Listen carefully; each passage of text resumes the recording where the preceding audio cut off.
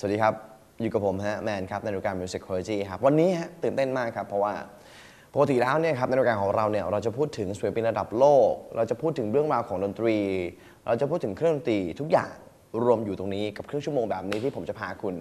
ท่องในโลกของดนตรีบนโลกใบนี้ครับแต่วันนี้ครับเหมือนกันฮะเป็นการท่อง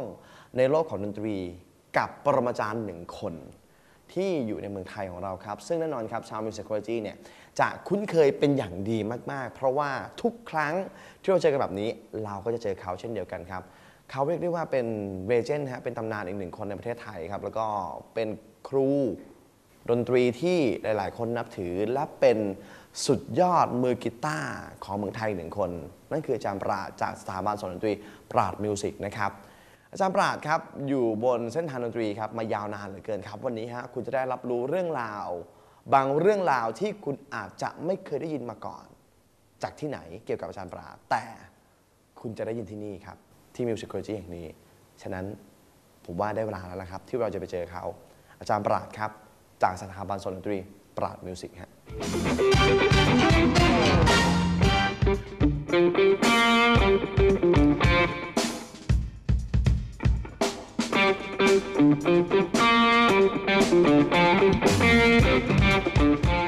เล่นดนตรีนะครับก็ครอบครัวเป็นครอบครัวนักดนตรีนะครับพ่อแม่มีวงดนตรีที่เล่นอยู่ในแคมป์ทหาร GI ตอนผมเด็กๆนะครับนั้นที่บ้านจะมีเครื่องดนตรีครบวงนะครับเราก็ได้ยินมาตลอดแล้วก็พ่อเป็นคนเริ่มสอนตอนอายุ9ขวบตอนนั้นมีออร์แกนตั้งอยู่ที่บ้านครับเราก็ไปจิ้มจิ้มจิ้มเล่นเล่นพ่อบอกอ้าโอเคมาดูเนี่ยโดเรมีฟาโซลาเนี่ยเราก็เราก็จะเข้าใจโดเรมี โน้ตมาตั้งแต่ตอน 9 ขวบ พอ 13 ถึงเริ่มเล่นกีตาร์ เริ่มเล่นกีตาร์เพราะว่าอยากเล่นมั้ง เพราะว่าพี่น้องนะ ทุกคนที่อยู่แถวบ้านเล่นดนตรีเล่นกีตาร์ทั้งอาชีพแล้วก็สมัครเล่น สนับสนุนไหม ไม่ได้ถึงขนาดพ่อดันแม่ดัน เฮ้ยลูกต้องอะไรอย่างงี้นะ ถ้าอยากเรียนเรียน ถ้าอยากเล่นเล่น แต่ถ้าไม่อยากเล่นไม่อยากเรียนก็ไม่เป็นไร เป็นอย่างนั้นครับ เป็นอย่างนั้น ค่อนข้างจะประชาธิปไตยที่บ้าน คือผมมันเป็นโรคเวลาเรียนอะไรก็แล้วแต่เนี่ยผมจะเรียนให้มันเข้าใจนะครับเวลาจะเรียนคณิตศาสตร์เรียนนู่นตั้งแต่ตอนเรียนประถมอะไรเงี้ยงั้นพอเรียนดนตรีปุ๊บผมมีความรู้สึกว่าเฮ้ยโอเคดนตรีมันต้องเข้าใจอะไรมากกว่าแค่แค่เล่นตามเพลงได้ ผมก็โอเค แล้วอาจจะเป็นเพราะแรงบันดาลใจจากมือกีตาร์หลาย ๆ คนที่เป็นไอดอลของเราอย่าง Ritchie Blackmore เราโอ้โหมีความรู้ด้านดนตรี เยอะมากเลยนะ รู้ classical music เอา classical music มาผสมกับดนตรีร็อกเราก็มีความรู้สึกว่า โอเค ถ้าเราจะเป็นได้แบบเขาเนี่ยเราก็ต้องรู้เรียนรู้เยอะๆนะครับก็เลยก็เลยแบบไม่เคยไม่เคยคิดว่าเป็นนักดนตรีแล้วจะมีกินหรือเปล่าแต่เพียงแต่ทำให้ทำให้ดีที่สุดตั้งแต่ตอนนั้นก็เริ่มเริ่มให้พี่ชายสอนกัน เล่นได้สัก 6 เดือนแล้วก็เริ่มไปเรียน คือครอบครัวเนี่ยฟังดนตรีสากล อาจจะเป็นข้อดีของของยุคนั้นนะ เพราะว่ามันก็ฟังร็อกในยุค70นะครับ ผมจำได้ว่าแรกๆเริ่มเล่นเนี่ยพี่ชายมาบอกให้ผมเล่นร็อกโล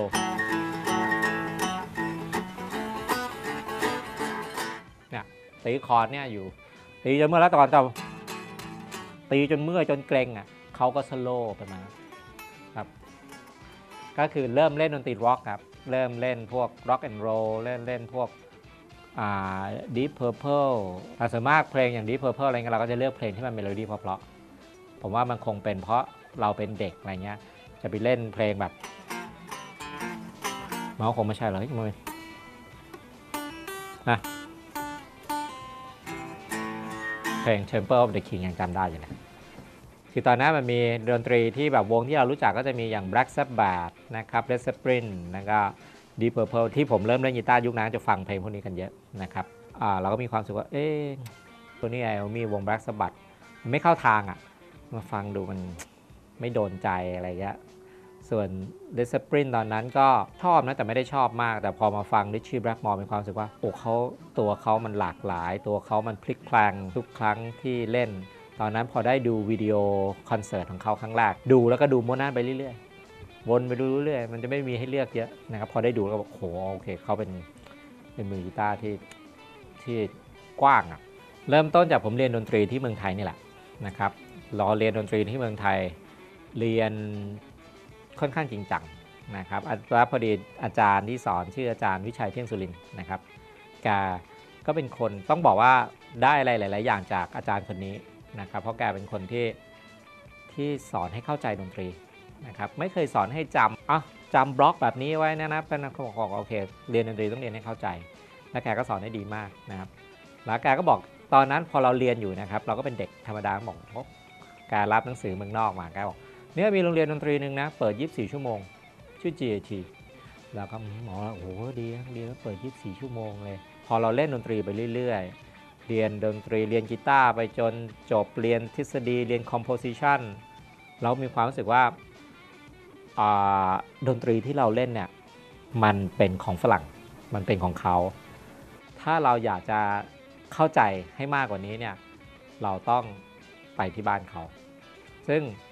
ไม่ใช่ลูกคนรวยนะครับ ผมครอบครัวปานกลางไม่สามารถจะมีเงินไปเรียน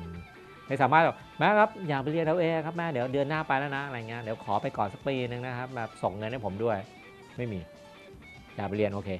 บอกแม่อยากไปเรียน แม่ก็จะบอกว่าจะเอาเงินที่ไหนไปเรียน